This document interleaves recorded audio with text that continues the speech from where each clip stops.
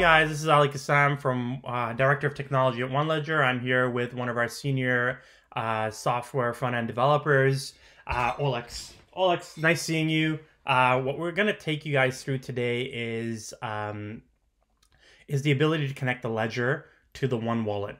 Now, the reason why we're doing this in with two people on the call is because obviously COVID 19 is happening people are dispersed, working from home. So I have Olex for helping me out as he's got some of the um, production level hardware on him with um, the One Ledger Bolos app for Ledger installed on it. So he's going to kind of help me walk through the different processes and showcase uh, the different features.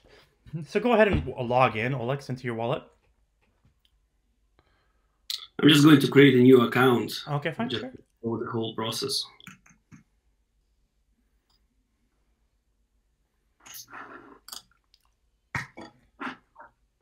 Okay, always remember to either download or copy that um, passphrase.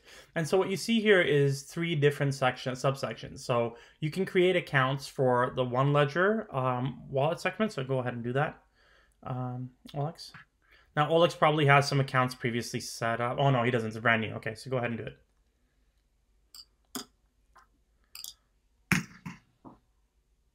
So you're going to have to mint some currency here, right?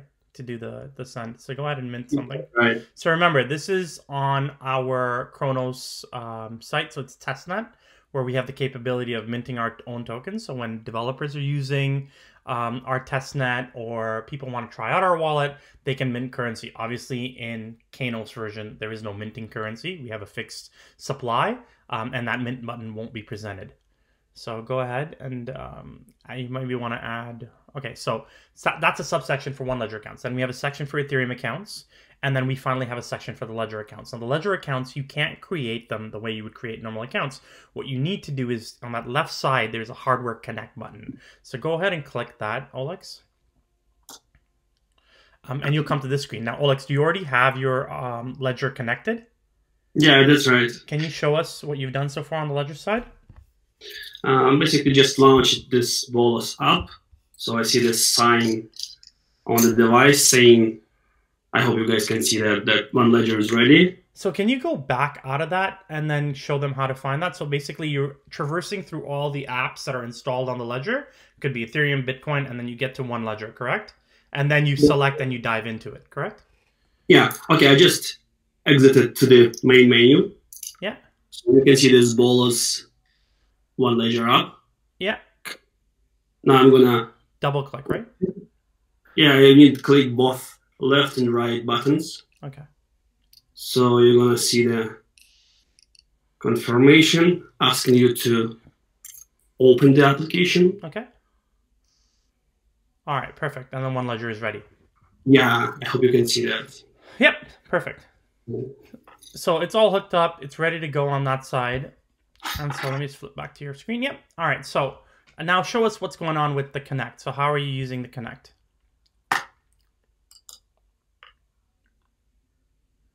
Okay, so the first thing you do is you probably want to connect it to Ledger Live to install the app. So it's kind of giving you the installation process on what happens through Ledger Live and selecting it. And then finally, what we just saw with um, with Olex, obviously these screenshots are not updated, but application is now ready. So once you go through that, you next next through it, um, now you're sitting at a phase where it's actually reading the accounts off the app itself. So Olex has an uh, one of the accounts there, account number two, that has 9,787 OLT and some odd change. So he's going to select that one um, and click unlock. Now you can go through, as you can see, on, before you do that, um, you can go through and you can see that there's several different accounts that you can select from. So you can go next all the way through. We present five just because generally you're not going to go through all of these uh, um, um, all of these accounts and have money in each and every one of them. You could, but a lot of people don't.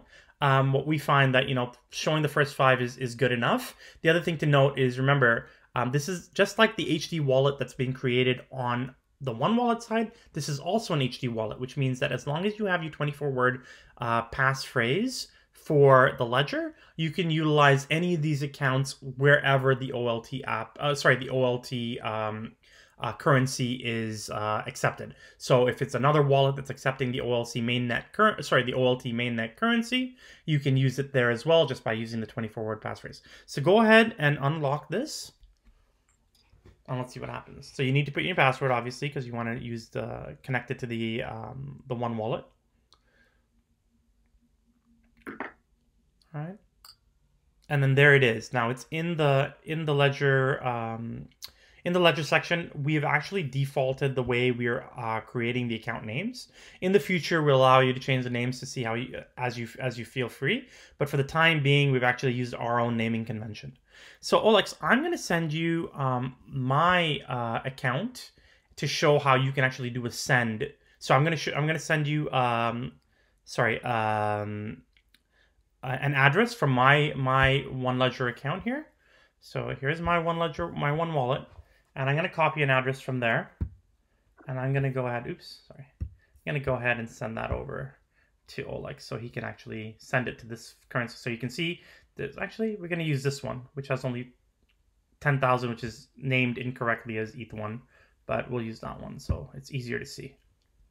All right, so I copy that. I'm going to send it to Oleg through Slack, which is not on the screen. You guys can't see that. So like I slacked it to you if you want to just quickly yeah, that. Okay. Yeah, I have the address. Okay. So go ahead and just go to a send transaction. It's gonna close this pop-up yeah. window. Go.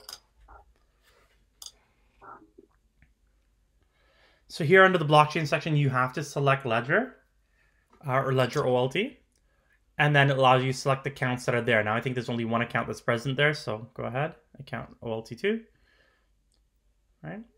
And there's the balance for it. So now he's gonna copy my address in the to field. Just wanna confirm last digits, yeah, DDFD, that's perfect. And then, I don't know, send me 87, right? Because you have 87 there. 87 OLT, so something that people can see. Okay. Now show us on the device the confirmation, right? Because you need to put yeah. the password in on the device. Sorry, let me just let me just really quickly before you do that. Let me see. Okay. Yeah, so it's asking for the signature for signing, so accept that, or go next rather. Yeah, you see the you see the and then the OLT amount, amount eighty-seven. Go next. Yeah, you can just click it, and I'll tell you. Yeah, the address. Sorry, slow slow down because it's it's not it's not uh, yeah yeah, the one uh, one unit of uh, for the thing, the address, perfect, recipient address. Uh, just and then approve. Yeah, it's a little bit fuzzy because uh, the internet connection's out, but yeah, just go ahead and approve that. Okay, it says one ledger is ready, and then what does your wallet say on that end? Yeah, trans- transaction, transaction completed. Oh wow, okay. So it immediately comes, and then you want to click on the transaction to show us what's going on there. Yeah, I'm just gonna exit the full screen mode so I'll be able to show you the browser window.